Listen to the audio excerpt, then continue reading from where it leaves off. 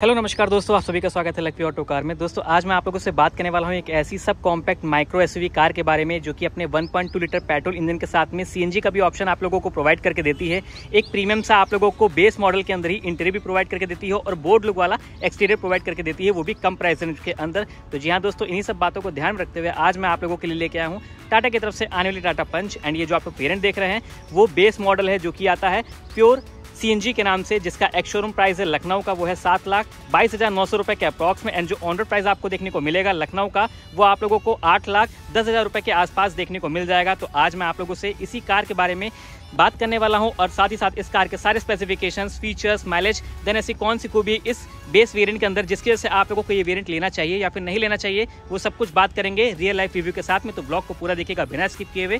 शुरुआत करता हूँ मैं इस कार के फ्रंट फ्रंट प्रोफ़ाइल लुक से तो ऊपर आप देखेंगे। यहाँ पर आपको एक अच्छी विजिबिलिटी वाला पूरा विंडशील्ड एरिया देखने को मिल जाएगा, जिसके अंदर से ड्राइवर को ड्राइवर पूरा बाहर का व्यू देख सकता है, कोई दिक्कत नहीं होगी। यहाँ पर सी की बैजिंग है। वेरियंट भी आप देख सकते हैं, यहाँ पर लिखा हुआ है प्योर वन पॉइंट के साथ। यहाँ पर आपको डोल वाइपर विथ वॉशर्स का प्लेसमेंट देखने को मिल जाएगा। यहाँ पर बोनेट एरिया आप देख सकते हैं, कुछ इस प्रकार से यूज़ किया गया जिसके ऊपर कट्स एंड डिज़ाइन यूज़ किए गए बोर्ड लुक वाला। ऐसा कुछ आपको नीचे का प्रोफ़ाइल एरिया देखने को मिल जाएगा। सेंटर में देखेंगे टाटा का लोगो है। पियानो ब्लैक फिनिशिंग में ग्रिल ऑफ़र की गई। यहाँ पर टायर पैटर्न यूज़ किया गया है। और इसी के पीछे हॉर्न भी देखने को मिल जाएगा। यहाँ पर आपको ऊपर साइड में इंडिकेटर्स देखने को मिलते हैं, जो कि हेलोजन बेस यूज़ किए गए हैं। यहाँ पर आपको हेलोजन बेस हेडलाइट देखने को मिल जाएगी, जिसके अंदर क्रोम रिफ्लेक्टर यूज़ किया गया, जिसकी विजिबिलिटी नाइट के टाइम पर बहुत ही अच्छी रहती है। साइड्स में आपको एयर कटन देखने को मिल जाएँगे। उसी के नीचे देखेंगे तो यहाँ पर फॉगलेम की हाउसिंग है, जिसको आप आफ्टर मार्केट लगवा सकते हैं, या फिर एसेसरीज के तौर पर शोरूम से भी लगवा सकते हैं। माफ़ी चाहूँगा दोस्तों, ये सब जो आप देख रहे हैं, गंदगी है, वो एक्चुअली गाड़ी जो है, वो यार्ड से लाई गई है शोरूम तक तो ये पूरी गंदी हो गई है। और ये पूरा आपको फ्रंट का ही बम्पर एरिया देखने को मिल जाएगा, नीचे वाला। यहाँ पर आपको ट्विंग का ऑप्शन देखने को मिल जाएगा, और ये पूरा फाइबर बॉडी के साथ में आता है। टायर डिज़ाइन आप देख रहे हैं, नंबर प्लेट का स्पेस है। इसी के पीछे रेडिएटेड ग्रिल लगी हुई है।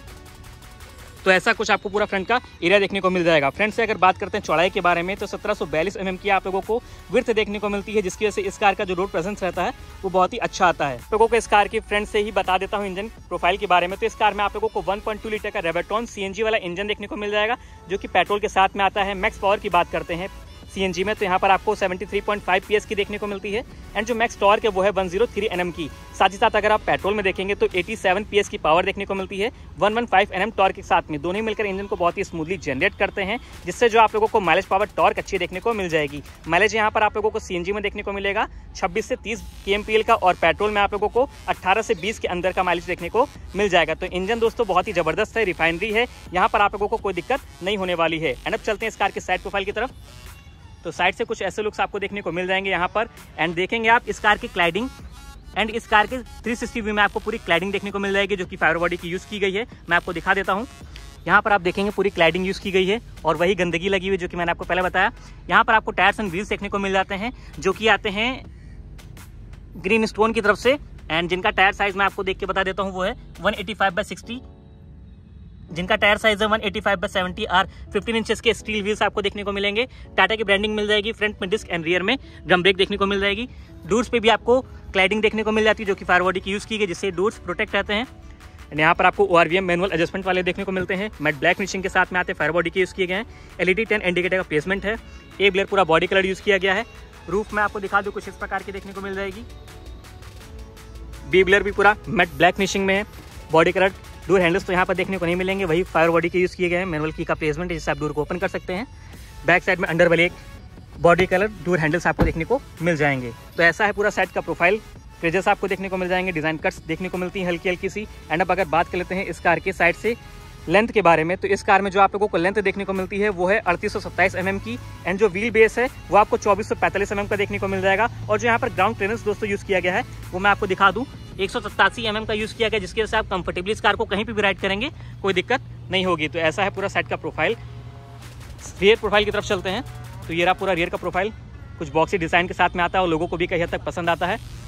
यहाँ पर आप देखेंगे हाई माउंटेन स्टॉप लैंप है बॉडी कलर स्पॉलेड यूज़ किया गया है डिफॉगर का प्लेसमेंट नहीं है फोर वोकल लोकल का स्टीकर सीएनजी की बैजिंग यहाँ पर टाटा का लोगो है पंच की बैजिंग मिल जाएगी और आई सी की बैजिंग मिल जाती है। यहाँ पर आपको टायर और डिज़ाइन के साथ में हेलोजन बेस टेल लाइट देखने को मिल जाती है, जिसकी विजिबिलिटी नाइट के टाइम पर बहुत ही अच्छी रहती है। एंड ये पूरा रियर का बम्पर एरिया है फॉरवर्ड के साथ में आता है, जिसके ऊपर आपको रिवर पार्किंग से डुअल पॉइंट्स देखने को मिल जाएँगे रिफ्लेक्टर्स देखने को मिलते हैं टायर और डिज़ाइन देखने को मिल जाएगी। नीचे देखेंगे तो यहाँ पर आपको स्टेपनिंग देखने को मिलती है, क्योंकि सीएनजी है तो स्टेपनिंग नीचे से ही ओपन होगी। एग्जॉस्ट मफलर यूज़ किया गया है। तो ऐसा रहा पूरा रियर का प्रोफ़ाइल एक बार मैं आपको बूट स्पेस भी ओपन करके दिखा देता हूँ। तो यहाँ पे जो आपको बूट स्पेस देखने को मिल जाएगा, वो 210 लीटर कैपेसिटी के साथ में आता है, क्योंकि ये यहाँ पर डुअल सिलेंडर टेक्नोलॉजी यूज़ की गई, जिसके से बूट स्पेस जो है वो थोड़ा सा कम हो जाता है, लेकिन फिर भी बहुत ही अच्छा खासा है। अदर कंपेरिजन की कारों में अगर आप देखेंगे तो बूट स्पेस ना के बराबर होता है, लेकिन यहाँ पर अच्छा खासा है। यहाँ पर आप देख रहे हैं डुअल सिलेंडर टेक्नोलॉजी यूज़ की गई है। तो ऐसा है पूरा बूट स्पेस एरिया इसको मैं बंद कर देता हूँ और बढ़ता हूँ अदर स्पेसिफिकेशन की तरफ़। सो आई होप आप लोगों को ब्लॉग अच्छी लग रही होगी और वीडियो भी पसंद आ रही होगी तो प्लीज़ वीडियो को लाइक करिएगा। सेकंड साइड प्रोफ़ाइल की बात कर ले। तो ऐसा कुछ आपको सेकंड साइड प्रोफ़ाइल देखने को मिलेगा सेम ही यहाँ पर आपको फ्यूल टैंक एरिया देखने को मिल जाता है। यहीं पे आपको सीएनजी का भी न्यूब देखने को मिल जाएगा। 60 लीटर के डुअल सिलेंडर आते हैं मतलब कि 30-30 लीटर के दो सिलेंडर रहेंगे और सैंतीस लीटर का आपको फ्यूल टैंक एरिया देखने को मिल जाएगा।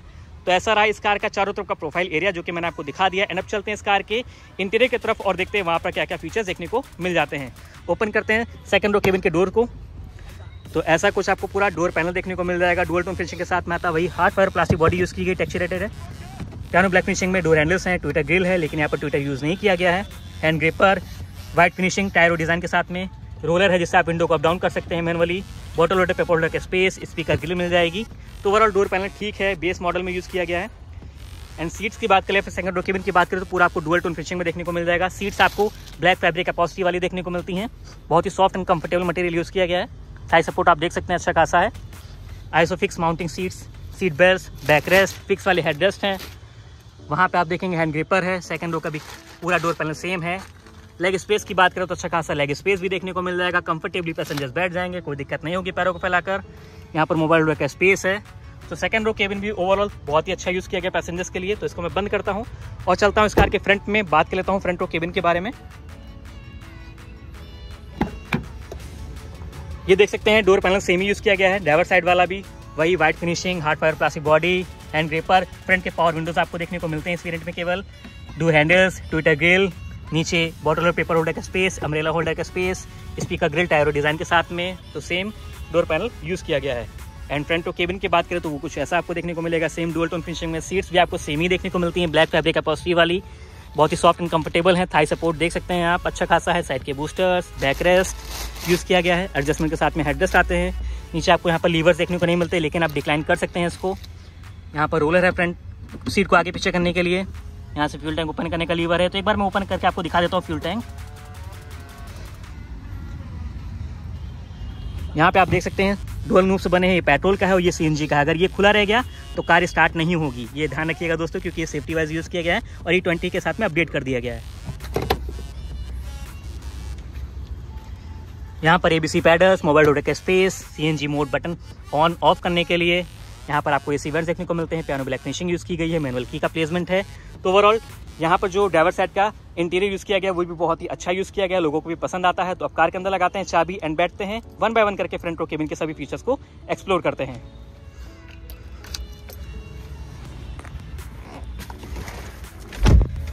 तो ये रहा इस कार का डुअल टोन फिनिशिंग के साथ में आने वाला डैशबोर्ड एरिया जो कि आगे मैं आपको दिखाऊँगा। शुरुआत करता हूँ स्टेयरिंग व्हील से तो यहाँ पर आपको three spoke power steering wheel देखने को मिल जाएगी। बहुत ही अच्छी ग्रिपिंग के साथ में आती है। फ्लैट बॉटम एरिया है। सेंटर में टाटा का लोगो एयरबैग की बैजिंग है। यहाँ पर आपको हॉर्न देखने को मिलेंगे और कोई बटन यूज़ नहीं किए गए हैं। इधर देखेंगे तो वाइपर के कंट्रोल्स इधर साइड में इंडिकेटर हेडलाइट के कंट्रोल्स एंड अब चेक कर लेते स्विंग व्हील को एडजस्ट करने की माउंटिंग है या नहीं तो मैं अनलॉक करता हूँ। केवल टिल्ट का ऑप्शन आपको देखने को मिलेगा टेलीस्कोपिक ऑप्शन नहीं यूज़ किया गया है तो फिर से मैं इसको लॉक कर देता हूँ। एंड अब चलता हूँ सेंटर कंसोल की तरफ़। यहाँ पर कुछ ऐसा सेंटर कंसोल देखने को मिलता है। यहाँ पर कोई भी इंफोटेनमेंट सिस्टम नहीं लगा है, लेकिन आप एसेसरीज के तौर पर लगवा सकते हैं।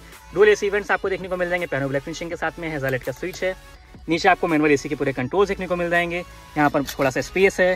फाइव स्पीड के साथ में आने वाला बहुत ही अच्छी ग्रिपिंग वाला। यहाँ पर आपको गेयर बॉक्स देखने को मिल जाएगा। यहाँ पर बारह वर्ड का शॉकेट है। Space dual cup holders hand brake को ड्राइवर की सीट सेम देखने को मिलती है डोर पैनल सेम देखने को मिल जाएगा हैंड ग्रिपर नहीं है यहाँ पर। को ड्राइवर साइड में आपको वेरिटी पैड देखने को मिलता है रीडिंग लाइट्स देखने को मिल जाएँगी। मैनुअल एडजस्टमेंट वाला हायर वीएम है ड्राइवर साइड में आपको वेरिटी पैड देखने को मिलता है टिकट होल्डर के साथ में। एंड अब आ जाते हैं इस कार के इंस्ट्रूमेंट क्लस्टर की तरफ़। तो यहाँ पर आपको डिजिटल इंस्ट्रूमेंट क्लस्टर देखने को मिल जाता है, जो कि ऑन करके मैं एक बार आपको दिखा देता हूँ। कुछ इस प्रकार का लुक देखने को मिलेगा जूम कर देता हूँ। तो इसी के अंदर आप लोगों को सभी इंफॉर्मेशन देखने को मिल जाएँगी। जो आती हैं, मोड्स आपको देखने को मिल रहे हैं। ऑल एंड ऑल जो भी फ़ंक्शन हैं चेकलाइट्स हैं इंडिकेटर्स हैं, वो सब कुछ आप देख सकते हैं अपने हिसाब से। और इसको अगर कस्टमाइज भी करना चाहते हैं तो वो भी आप कर सकते हैं। जैसे कि आप देख रहे हैं फ्यूल लेवल लो दिखा रहा है की है ओडो है ट्रिप है एंड ऑल फ़ंक्शन हैं सी एन जी इग्नेशन हैं। यहाँ पर मोड का बटन है, जिसको प्रेस करके आप trip A trip B odo ये सब कुछ अपने हिसाब से सेट कर सकते हैं। तो बहुत ही इंफॉर्मेटिव है टेम्परेचर भी आप देख रहे हैं इंडिकेटर्स की भी चेकलाइट्स शो ऑफ़ हो जाती हैं। तो ऐसा है, पूरा इंस्ट्रूमेंट क्लस्टर जो कि बहुत ही अच्छा है इन्फॉर्मेटिव है। डैशबोर्ड की बात करते हैं तो डुअल टोन फिनिशिंग में आप देख रहे हैं, पूरा डैशबोर्ड यूज़ किया गया है। वही हार्ड फाइबर प्लास्टिक बॉडी के साथ में आता है टेक्चरेटेड है वुडन फिनिशिंग है। यहाँ पर आपको व्हाइट टेक्चर देखने को मिलेगा टायर और डिज़ाइन के साथ में इसी पे पियानो ब्लैक फिनिशिंग है। बिल्स पे आपको ट्विटर ग्रिल देखने को मिलती है, जिसको आप आफ्टर मार्केट भी इंस्टॉल करवा सकते हैं।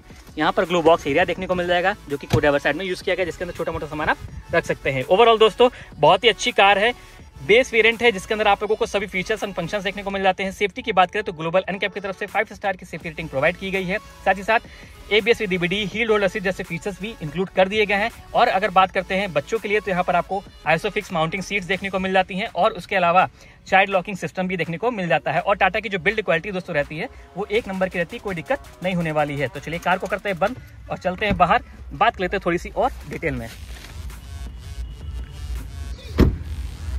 सो ओवरऑल दोस्तों, मैंने आप लोगों को कार पूरी दिखा दी एंड कार के जितने भी फीचर्स थे, वो सब कुछ बता दिया, जो भी था प्राइस भी बता दिया एंड आई होप आप लोगों को ब्लॉग अच्छी लगी होगी और कार भी बहुत ही पसंद आई होगी तो प्लीज़ वीडियो को लाइक करिएगा। और आज का ब्लॉग मैं शूट कर रहा हूँ पुनीत ऑटो सेल्स लखनऊ दुबग्गा में।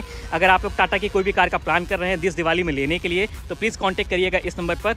और मिलते हैं आप लोगों से नेक्स्ट ब्लॉग में, तब तक के लिए टेक एंड बाय बाय